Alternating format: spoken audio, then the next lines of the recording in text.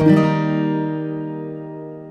各位观众朋友们，在关心今天的天气，有几个重点提醒大家：在礼拜一的时候，东北风稍微减弱了，但是到礼拜二，东北风又会再度略微的增强。这次幅度哦，增强的强度不算是太明显，但是也要稍微留意一下，在迎风面的北部跟东半部地区，气温还是比较偏低啊。中南部的话，影响就啊受到的影响就比较小一点，但是还是要留意日夜温差会比较明显。那么到礼拜三的时候呢，东北季风稍微短暂的减弱，但是很快的礼拜三的这个下半天到礼拜四的时候，东北风又再度增强，而且北部跟东半部地区雨势会稍微增加啊，尤其在礼拜四的中午过后哦，那么中南部的话还是维持晴时多云的天气哦，所以呢，这个礼拜的话，北部东北部要特别留意哦，天气的变化会比较明显，尤其在礼拜四过后哦，所以大家要留意。中南部仍然是要特别留意日温差。比较大。那么另外像这样子比较湿冷的天气啊，是。比较容易有这个晚疫病出现，那么晚疫病就是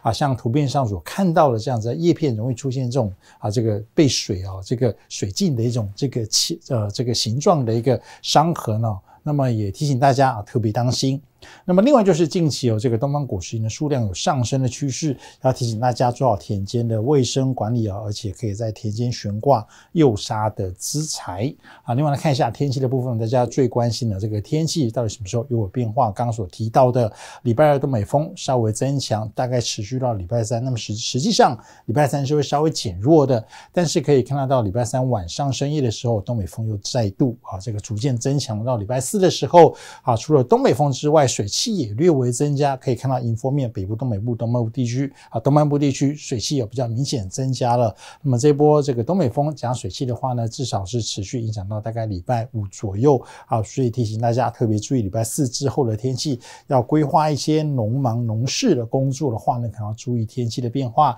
来看一下什么地方比较容易下雨哦。其实最主要礼拜三之前降雨几率都是偏低，礼拜四、礼拜五的话呢，水汽南下，东北风增强，要特别注意我们的迎风面地区。降雨几率就会变高了。我们甚至从未来四天的降雨预测图上面可以看到，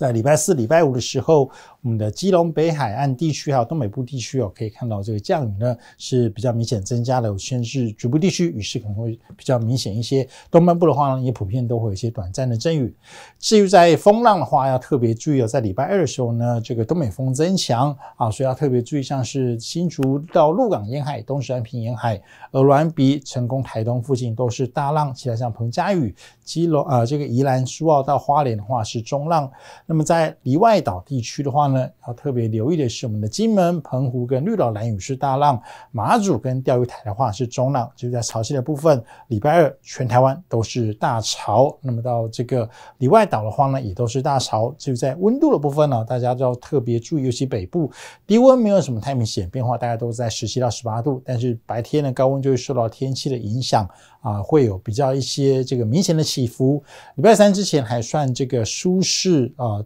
呃的这个天气大概二十四到二十七度，但是礼拜四到礼拜五到礼拜六的话呢，下一波冷空气南下，所以呢，高温会下降到只剩下二十到二十三度左右。好，所以要特别注意，礼拜三到礼拜四的温度起伏是比较明显的。